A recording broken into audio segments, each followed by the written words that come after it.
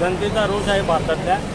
आणि त्या रोषाचं रूपांतर एकतीस जानेवारीला दिसणारच आहे निवडणूक आयोगाला. कारण एकतीस जानेवारीला आम्ही जवळजवळ एक ते दोन लाख लोक आम्ही दिल्ली निव मुख्य निवडणूक आयोगाला गिराव घालण्यासाठी जात आहोत.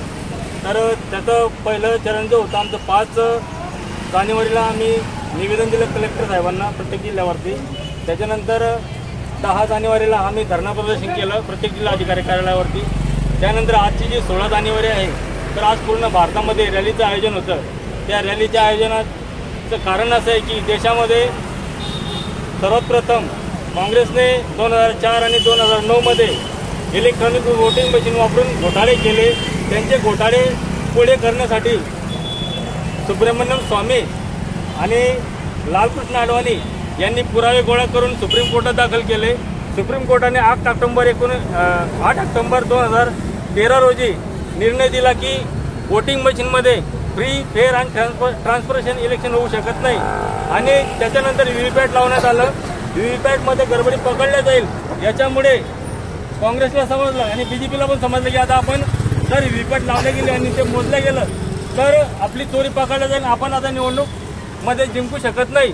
तर काँग्रेसने अभि अभिषेक मनु संघवी नावाच्या वकिलाला पुढे करून बीजेपीची मदत केली आणि अभिषेक मनु संघवीने सुप्रीम कोर्टामध्ये याचिका दाखल केली की व्हीव्हीपॅटची जी मोजणी होईल ती फक्त पन्नास टक्क्यावरती झाली पाहिजे. परंतु सुप्रीम कोर्टाने शंभर टक्केचा आदेश द्यायला पाहिजे होता.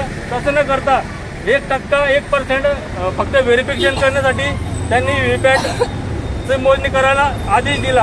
आणि असं होत असताना असं सगळं काही होत असताना विरोधी पक्षात असलेला काँग्रेस हा ज्या व्हीव्हीपॅट शंभर टक्के मोजण्यात मोजण्यात यायला पाहिजे. त्या मोजण्याचा आग्रह धरत नाही किंवा मागणी करत नाही. कारण काँग्रेस आणि बी जे पी संघटमताने काम करत आहे. यांच्या संगणमताने काम होत असताना इथले जे मतदानाचा जो अधिकार आहे तो पूर्णपणे व्यवस्थितपणे राबवला जात नाही. याच्यासाठी बी जे पी काँग्रेस आणि निवडणूक आयोग जबाबदार आहे.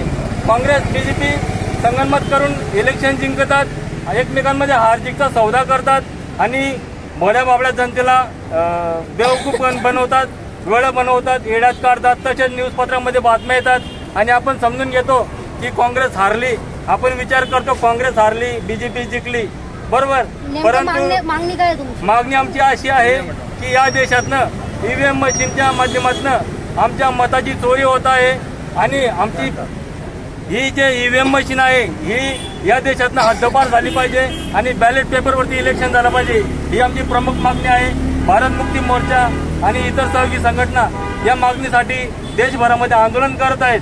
आणि जर एकतीस जानेवारीपर्यंत आमची मागणी मंजूर नाही झाली तर एकतीस जानेवारीला आम्ही निवडणूक आयोगाच्या मुख्य कार्यालयावरती घेराव घालणार आहोत. धन्यवाद? ईव्हीएम हटाओ देश बचाओ माझं नाव देवानंद भाऊराव निकम. भारत मुक्ती मोर्चा जळगाव जिल्हा अध्यक्ष.